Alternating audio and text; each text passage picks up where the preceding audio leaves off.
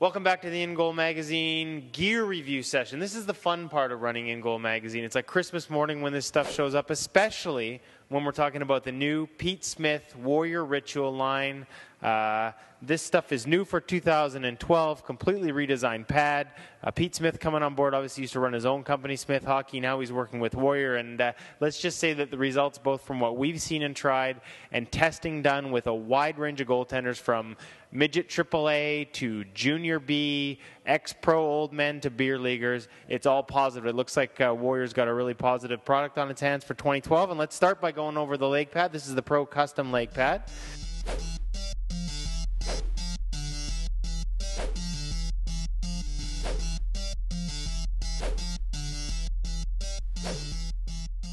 First thing that jumps out at you when you look at this pad is uh, I said it was a work of art. The, uh, the stitching, the seaming, and everything is absolutely um, fantastic. And it's not just a question of great looks, but it's great function. This bindingless design that Pete's uh, put in here on the bottom of the pad uh, has a fantastic look to it, but it's also got function to it. So that when you're going down into the butterfly, there's nothing holding you up. You can transition from standing to down uh, as fast as anything as a result of this bindingless, smooth surface on the pad here.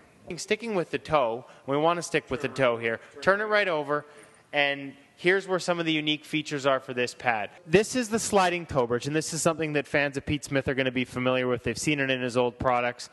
The idea here is simple. We all know, we've all seen NHL goaltenders, we've all done it ourselves. We tie a bunch of knots in the toe, and by tying a bunch of knots in the toe, the idea here is to allow the skate and the skate cowling to slide down so that it can be closer to the ice. Obviously, the easier it is, the less resistance there is to get the skate to the ice and the cowling to the ice, the less tension there is on the ankle, the less tension there is on the knee, the less tension there is on the hips. Those are all things you want. Less tension of, not more. By having a sliding toe bridge, that eases the transition to the ice while allowing you to feel like the toe is tied tighter to, to the skate. So, in other words, the feeling that you're connected to the pad remains, but the resistance to getting to the ice is minimized. The other part of this that you'll see that's different is what Pete told, called a, a tabletop design. This is flat. There is no really bold, defined boot channel in here. Uh, again, the idea that the skate can move freely across the pad and down to the ice when you transition into the butterfly. That's the way it's designed. That's the feature of it. Uh, there is no channel that the boot can get caught up in. It just transitions nicely. Another feature of this, you can see the buckles here. On both sides, the strapping options on this lower part of the pad, three different places that you can place the pad for three different strapping options.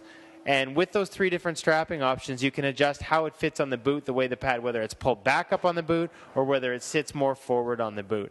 The other thing I noticed was the strap positioning uh, actually changes. It's not just how it positions forward and backward on your boot, but actually um, the height on the leg as a, as a result as well. So when we move the strap back here to this higher position, it tensioned the pad right down to the bottom of the, uh, of the, the leg as well. Moving up into the leg channel of the pad. As you all know, depending on what brand you wear, you, you have different preferences for how the leg pad fits. You, some people like a tight pad, some people like a loose pad, a wide open leg channel.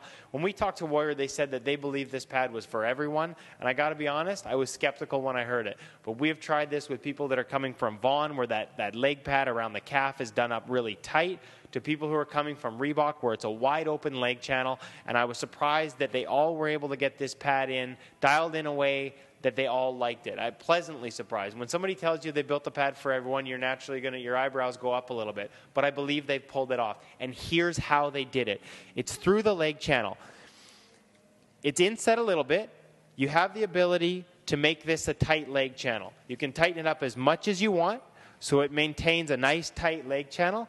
But again, even if you have it tight and you like it wrapped around the calf, the way they've, they've put breaks, Pete has put breaks and seams in here. So these breaks allow this calf wrap down around the ankle, again, a nice, natural, open position.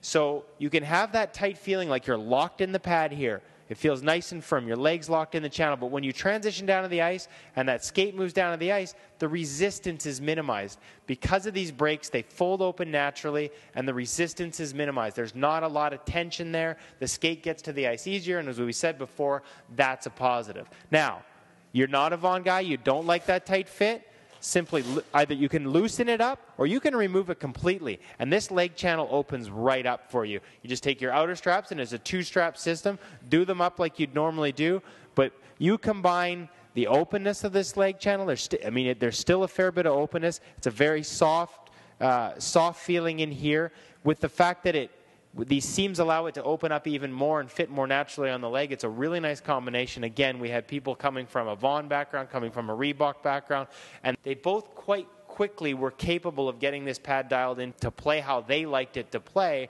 And that's not something you see every day, the ability to kind of satisfy both ends of the spectrum. But I think we both found, whether it was tight, whether it was loose, this pad wanted a butterfly. It, it, was almost like it had a mind of its own when you were going down to the ice. It was finding the right position right away, no matter how you were wearing it. Now let's turn it over and let's take a look at the knee stack. Now, strapping, strapping options. You've got a couple of, uh, you've got plastic quick, quick release buckles here um, on the top. These are all customizable. You can choose to have different strapping options if you'd like to have more of the leather straps, if you'd like to have more uh, plastic straps on the lower. Those are all completely customizable, as are the positions. These are easy, quick adjust straps. You just pop them off, and you can take them out and move them up and strap them up higher, strap them up lower. So depending on how you like to wear the pad, this is I don't want to say standard because there still are some companies that don't offer you this range, but more and more we're seeing companies do this where they offer the option to kind of move these straps around. So, but what we're not seeing where, where the true innovation here in the, around the knee area is to me is in the knee stack, and it comes in two places. The first thing we notice is in the landing area. What they've done here with the strapping system the original, the, the first section of the landing gear can't come out as far. The second section sticks out further. That's where you provide your stability. The problem in the past was there used to be a little gap here where this line would come straight across and you'd have a little gap. What they've done is they put a stabilizer, and I don't know if you can see that properly, but there's a little notch here. It's a stabilizer so that when you drop these two pieces, fit naturally together, and this stabilizer bar really provides a nice, stable, flat surface across it. Okay, now the other thing that they've changed in the knee cradle, you can strap it up here, you can strap it up low and, and, and alongside, but however you do it, he's created a knee landing area where there's a lot of twist, and maybe I can get you, Hutch, to give that a, grab that and pull it and give it a twist. Again, breaks and seams inside the knee landing area rotate naturally with the knee. So it'll rotate quite easily and open quite easily. So again, there's less resistance in there. So when you have your knee pads and your, your giant knee pads, it's not going to cause the pad to push over on its side. It's not going to cause an over rotation problem. It's not going to cause you to miss the knee stack. This is one of the more unique designs I've seen. Uh, it's the first time I've seen somebody put breaks and seams inside a knee stack. It's quite innovative by Pete Smith, and I think it's going to be a function that anyone who likes to wear an oversized knee pad is going to really enjoy.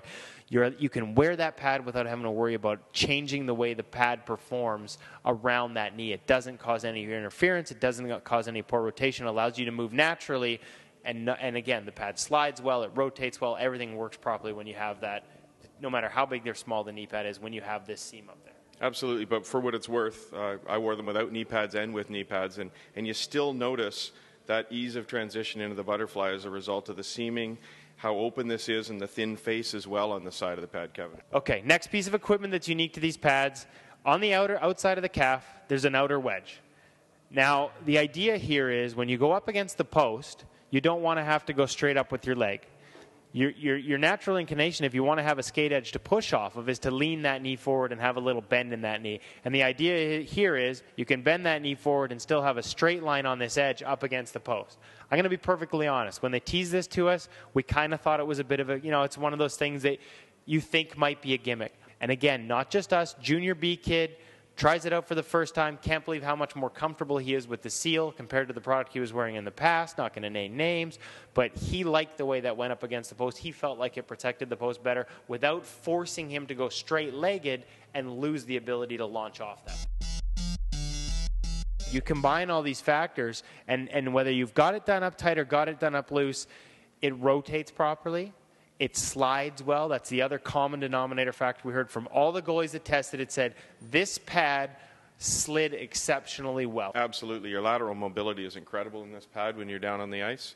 Uh, if a guy my age can be noticed by his teammates to have increased lateral mobility just with the first night out in the pads, it tells you something about it. I think the other thing is that the two comments that we that we heard most when we tested it independently with, with a variety of goaltenders were one how well it slid, and we've talked about all the functions that lead to that, but two how light it was when they picked it up, and that was not just a function of it being a light pad, but a function of how balanced it was when they when they pick it up and when they put it on. It was. I think you have to be prepared when you first try them, and, and, we encourage people.